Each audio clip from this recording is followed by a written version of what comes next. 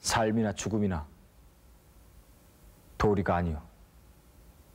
도리다 실상은 생의 양면에 불과하오. 그러니까 생의 핵심을 잡으려는 이에게는 삶이나 죽음이나 문제가 되지 않소. 당신은 지금 살고 있어. 아니요. 그러나 죽기를 바라고 있어. 참으로 살려. 생전에 남긴 몇 점의 유품들로 채워져 있다는 김우진의 가묘로 가는 길. 오랫동안 그를 기억하지 못한 세상이 못마땅했던 걸까. 몇 발자국 뗄 때마다 잡목이 붉어져 발걸음을 가로막는다.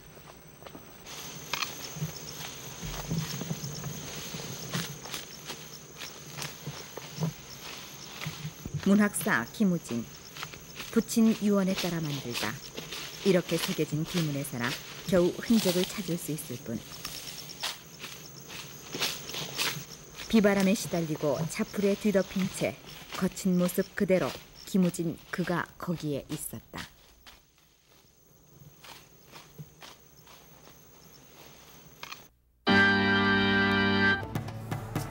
(1926년 8월 5일) 부산에서 급보로 전해진 한 토막의 소식은 세상을 일시에 들쑤셔 놓았다. 인기 여가수 윤신덕, 대주주 아들 김우진과 현해탄의 투신 정상. 모든 신문들은 때를 만난 듯 윤신덕의 행적을 쫓아 연재물을 쏟아부었다. 사람들이 모이는 곳 어디서나 윤신덕의 정사는 흥미있는 화제거리였다.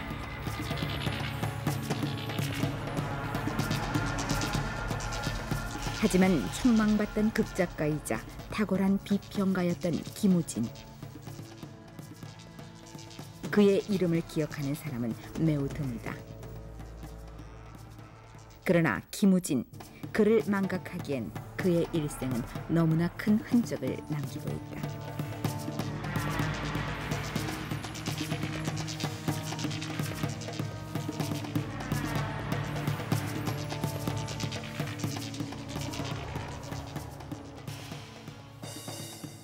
채 서른도 못 된 젊은 극작가의 죽음.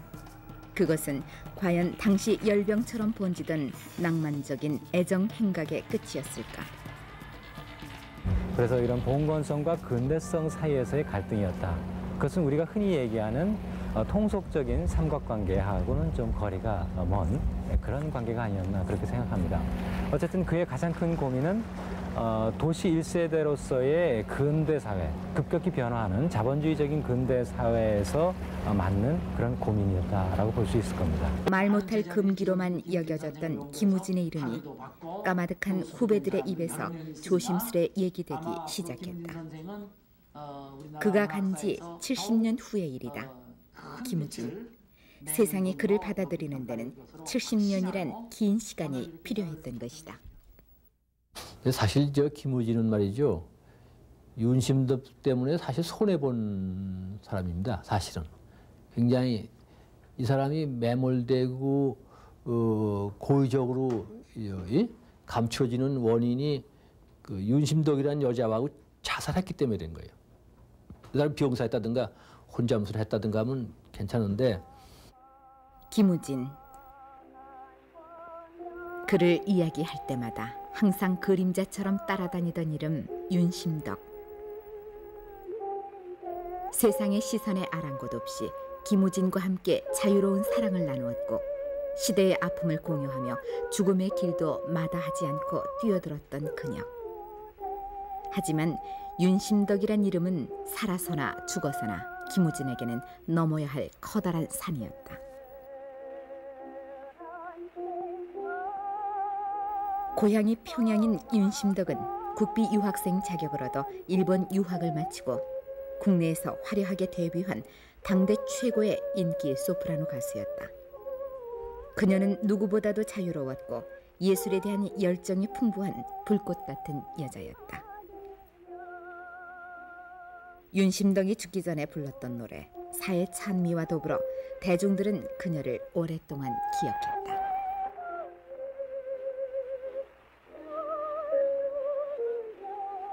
하지만 죽음의 동반자 김우진은 세상의 편견과 윤심덕이란 화려한 명성에 가린 채 오랫동안 세상에서 잊혀져야 했다. 지주의 아들 총망받는 극작가로서의 길을 두고 자살이라는 극단적인 선택으로 김우진을 내몬 것은 과연 무엇이었을까?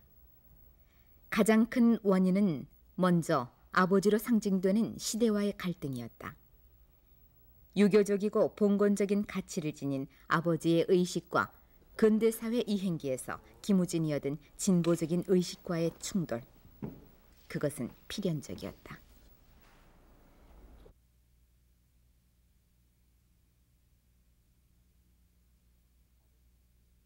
아버지, 당신은 저를 없인 여기시죠?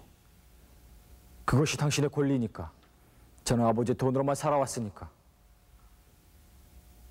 하지만 전 이 심장 속 회오리 바람으로써 처음으로 아들이라는 울타리를 뛰어넘었습니다. 그래서 못 쓴다고? 대체 무슨 법칙이 있기에 저를 이 속박 속에 집어넣었습니까? 아버지도 역시 사람이 아니요? 나도 역시 사람이 아니요? 저는 아버지의 무릎 밑에 앉아서 아버지를 축복했습니다. 그런데 당신은 저를 이런 엄청난 고통 속에다가 넣어두고 있었죠. 그것이 아버지가 저한테 주시는 사랑이요.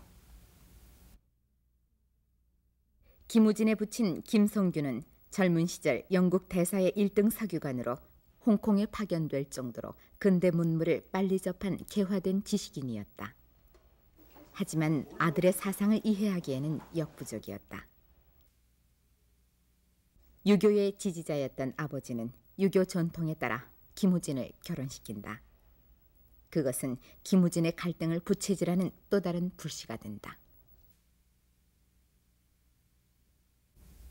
이날 저녁 이 자리 위에 같이 누워서 너와 나 같은 술 한 마음으로 천년만년 죽수하나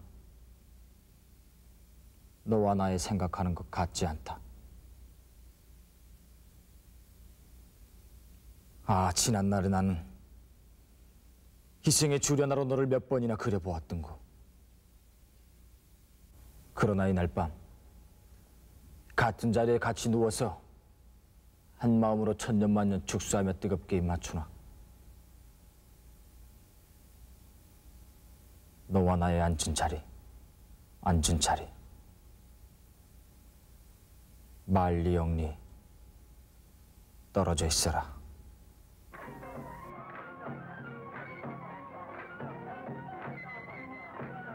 1920년대 김우진이 일본에서 유학할 무렵 일본은 대정 시대를 맞아 정치적으로나 경제적으로 대단히 자유로운 시기였다.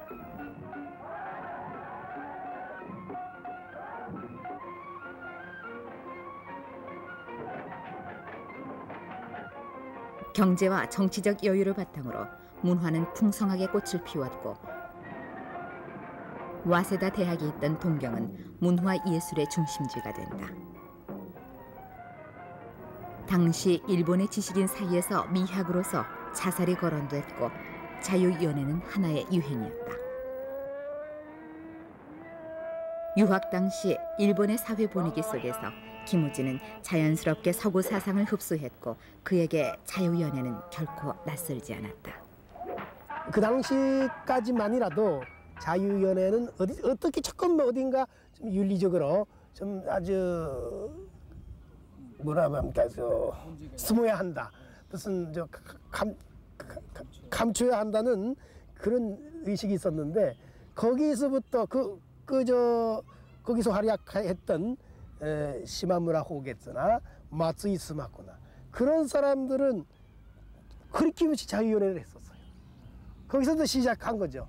그거 그 이후는 뭐 자유 연애가 유행이죠 그 사회 어디서 다 뭐 그 이후에 소설은 자유 연애가 테마 모티브 되는 게 많이 나옵니다. 예. 그거 뭐 또 아름다운 일이고 어, 인간이 인간으로서 해방되는 거 당연하다. 그 저, 첫째가 연애다. 남녀 관계다. 그런 사상이죠. 예. 김우진은 평론을 통해 적극적으로 발언한다. 조선 말 없는 조선 문단의 고함이란 평론에서 김우진은 순수한 우리말로 문학을 이해해야 한다고 주장한다.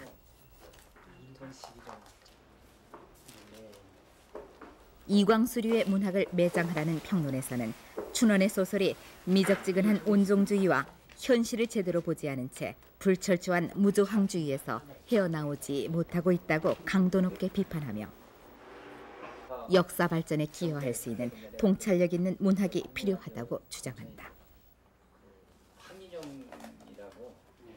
오늘 신문에도 조선 폭동의 기사가 만주되었다. 4일 오후 김군으로부터 기관종 이왕 폐하에게 20여인의 단체의 대표자 이름이 기소를 하려다 미수하고 체포되었다 한다. 그런데 경성일보 매일 신보에는 도무지 이 일에 대해 일행 일자가 없구나. 남방에서는 지금 북방의 혁명은 성은 몽상치도 못하고 냄새나고 울란 속에서 신음하고 있구나. 아, 가르난 통조. 변지하는 것과 교통하게 하는 것도 못하게 하는 저 악족들. 가르난 것은 우리들.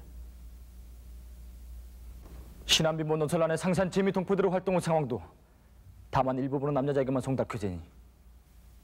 아, 민족 차결이여. 그것만이, 그것만이 우리의 유일한 그물의 목표이다.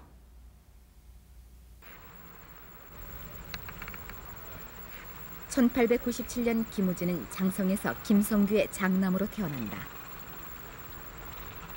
어린 시절 이곳에서 어머니를 잃은 슬픔은 김우진의 작품에서 중요한 모티브가 된다.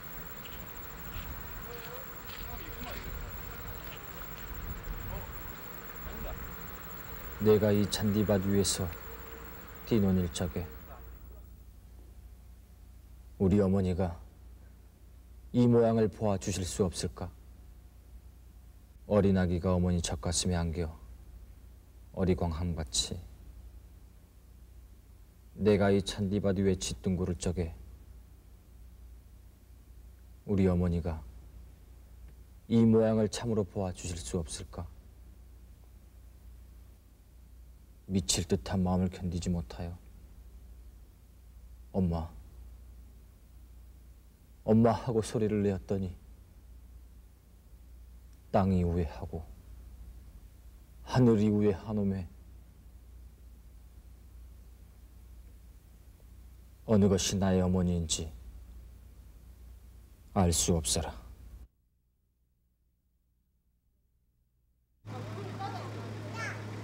열한 살 되던 해 장성에서 목포로 이주한 김우진은 지금은 성당이 들어선 이곳 성취원에서 말이 없고 사색적인 성격으로 성장한다. 김우진은 사대부 집안의 장손답게 철저한 유교 교육을 받고 자란다. 하지만 이탈리아 시인 다눈치오의 열정을 숭배할 정도로 풍부한 감수성을 지닌 김우진에게 금욕적인 유교 교육은 내면의 갈등을 더욱 부채질한다. 목포 공립 보통학교를 졸업하고 부친의 뜻에 따라 일본 구마모토에서 농업을 공부하기도 하나 김우진은 일찍부터 농학에는 뜻이 없었다. 이미 16살의 김우진은 호를 수산이라 정하고 공상문학이라는 단편 소설을 쓰고 시작에 몰두한다. 부친의 뜻을 무시하고 와세다 대학 영문학부에 입학한 후로는 종합예술인 연극에 몰두한다. 이때 운명적인 여인 윤심덕을 만나게 된다. 1920년 유학생을 중심으로 극예술협회를 조직한 후에는 여름방학을 이용해 전국을 돌며 순회 공연을 갖는다. 7월 8일 부산을 출발해 40일 동안 전국을 돌며 공연했던 손회 연극단의 공연은 국내에서 커다란 반향을 일으킨다.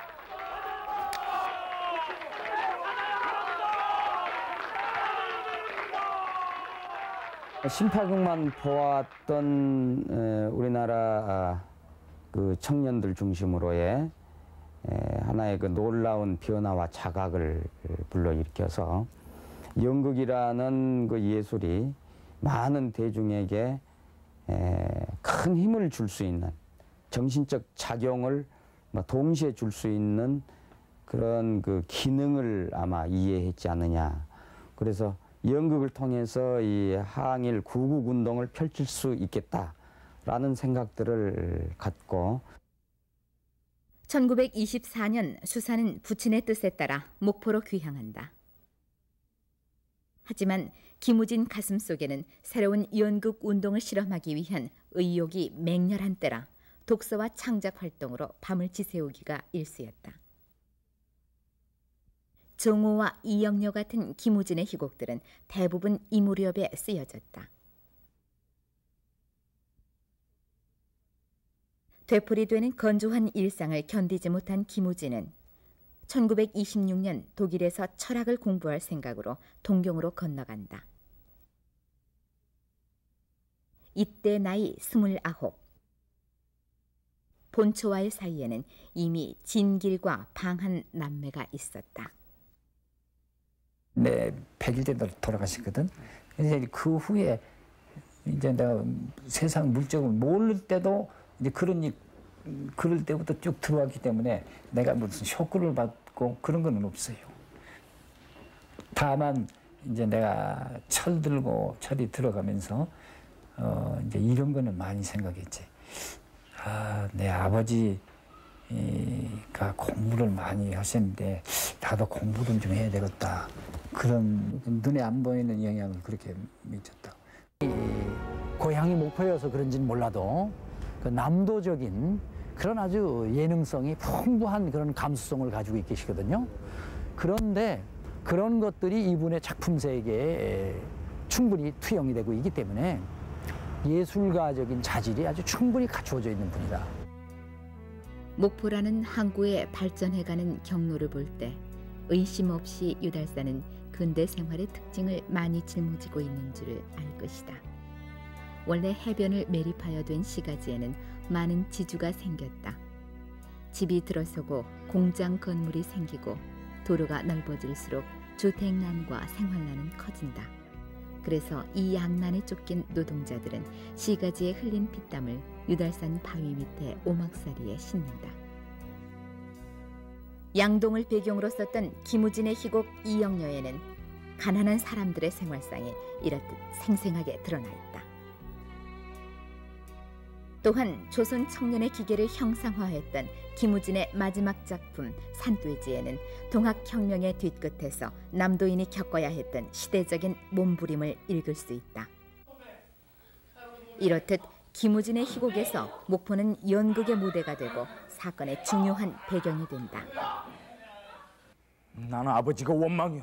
아버지가 자기는 동화인가 못에 들어가지고 나라를 위해 중생을 위해 백성을 위해 사회를 위해 죽었다지만 결국은 집안에다가 산돼지 한 마리를 가둬놓고 만셈이야. 반백이든 머리털이 핏줄선 부럽던 위에 흐트러져 가지고 이를 악물고 사는 때 김우진의 유작 산돼지의 주인공 원봉처럼 뒤틀린 운명과 시대와의 갈등을 이기지 못한 채 책이 나오거든. 1926년 김우진의 생은 난파당한다. 김우진 그가 그렇게 떠난 지 70년. 다양한 연극들이 실험되고 예술을 즐기려는 젊은이들로 북적이는 서울의 대학로. 김우진 그가 늘상 꿈꾸던 거리지만 어디에도 그의 이름은 없다. 살아생전 신극 운동을 실험할 무대로 김우진이 그토록 갈망했던 소극장 그러나 급작스런 김우진의 죽음은 그가 떠난 후 30년이 지나서야 이 땅에서 본격적인 근대극과 소극장의 출현을 보게 된다.